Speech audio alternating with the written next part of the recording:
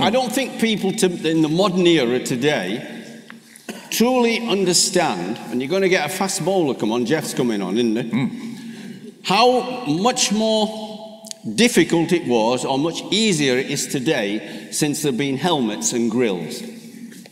Since Packer, 77, 78, and 878, 79, when there were so many fast bowlers in his circus, his cricket, and they got the helmets on and grills. Before that, much more difficult. You got it wrong when you're trying to hook or pull, you're in trouble. Yes. I once asked Len Hutton this.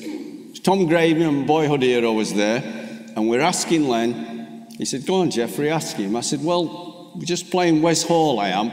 Did you hook him? Did you duck, weave, hook, or what?